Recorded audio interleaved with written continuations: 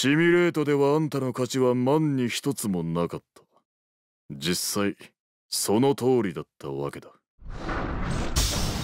想定外の過程を乗り越えてつかむ勝利ってのもいいもんだな。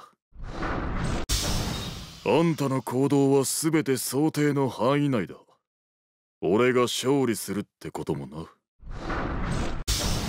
予想外にもらっちまったぜ。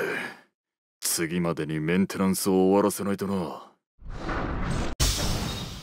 俺に勝ちたかったら俺以上に頑丈になるか賢くなるかの二択しかないぜ。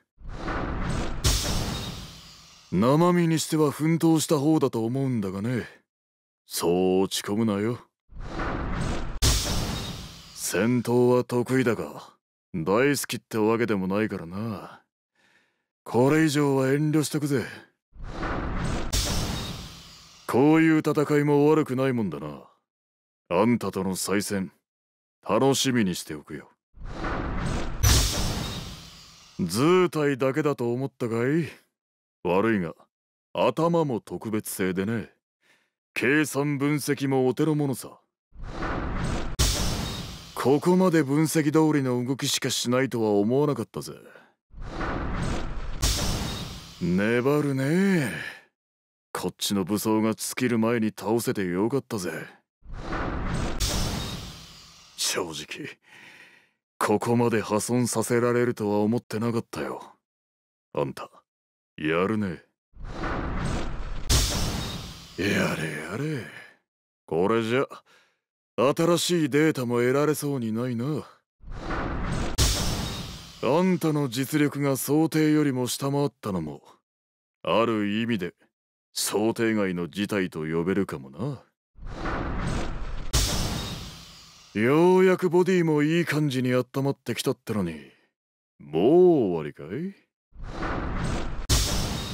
ボディの破損が深刻だな。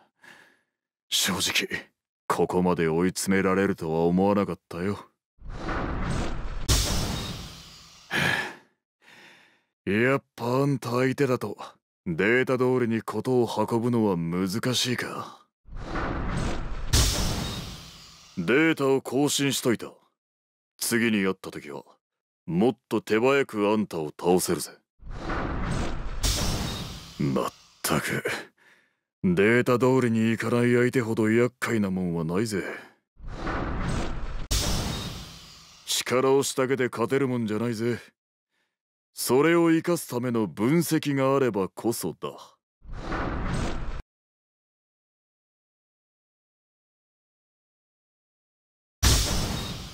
相変わらずあんたの攻撃はしびれるね。機会があればまたあんたとも組んでみたいもんだ。おっと悪い。ボディの耐久性能が上がったせいでご自慢の棒がひしゃげちまったな。俺のボディの新性能思う存分堪能したかい？相手にとって不足ないだろう。相棒。過去のデータとの誤差がほとんどないな。そんなんじゃ俺に勝つのは夢のまた夢だぜ。お嬢ちゃんが思いっきり遊べるよ耐冷性能も上げてるからな。どうだ？満足したかい？生身で俺とここまで渡り合うとはな。あんた普通の人間とは思えんが何者だ？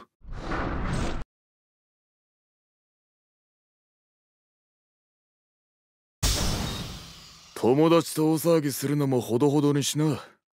面倒な相手に目をつけられても知らんぜ。今度はお子様二人のお守りかい？あんたも面倒見がいいというか苦労するね。ネイルが傷んだって言われてもな。嫌なら次からは手袋でもしてくるんだな。こりゃ驚いたな。どっちが本体か解析しても区別できんとは思わなかったぜ。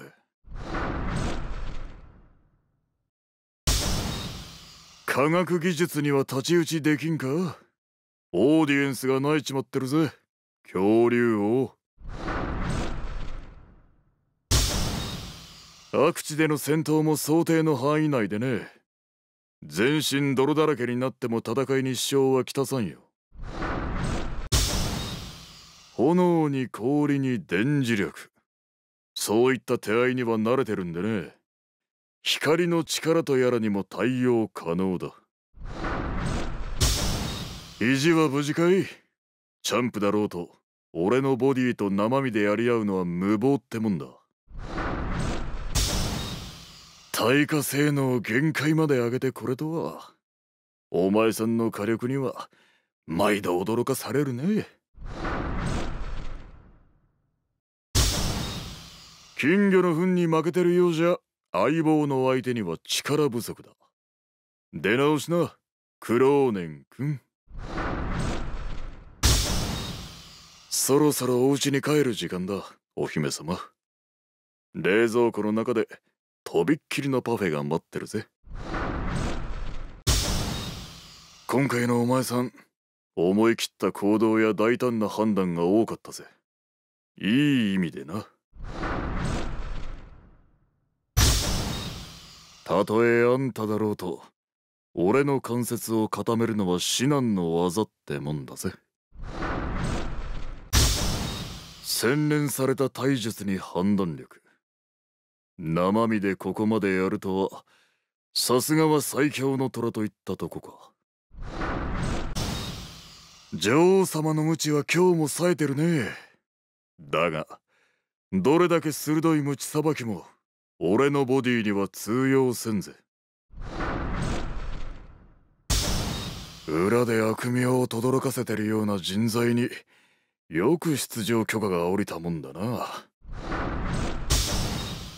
鋼鉄のボディにコンピューターの処理能力も搭載だ。アンドロイドより厄介だぜ。俺はな。軽量化ってのも一長一短なんだぜ。まあんたが反省を生かせる機会はもうないけどな。地球上にない成分で構成されてるときたか。少なくとも世に現れん方がいい存在ってのは確かだな。